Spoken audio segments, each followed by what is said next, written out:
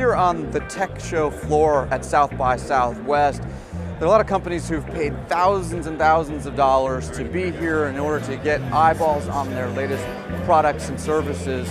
I wanted to find out what are the big crowd pleasers here at South by Southwest this year. All right, these people over here are checking out a device called Beam, and this is sort of interesting. It's teleconferencing on wheels. The person who's on the other side of this teleconference is able to actually control her movements. What's the point? I can do like site tours, like factory inspections. I can really be there without actually being there. So what are these people looking at? I'm sexy and I know. Well, it's a dancing robot from Move Music. People seem to be a lot more interested in the robot than they are in what Move is about.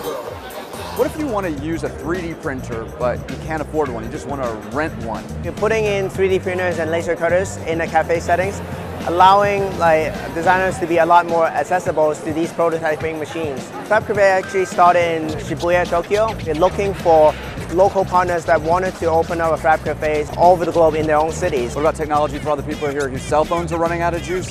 Well, there's a device called GoPuck, and you gotta be careful how you say it, but GoPuck, according to the owner, can charge up an iPhone five times, and you can buy it for 70 bucks on Amazon. Got two other things worth mentioning from outside this convention hall and the tents that are outside. One is the Leap Motion Controller. A lot of buzz about that. I heard about on Twitter, had to go check it out.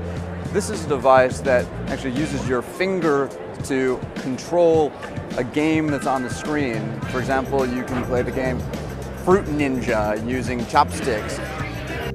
AutoCAD, the maker of software for design and architecture, is also getting some attention. They're letting people make their own little plastic monsters. First, you design it on an iPad, then you send it over to their 3D printer. About 20 minutes later, you get your monster in plastic form. Are there any crowd displeasers here on the floor? Well, this guy probably qualifies. He's here to represent a company that does cloud computing. Yikes. From the floor of the Tech Showcase at South by Southwest, I'm Jason Bellini for the Wall Street Journal.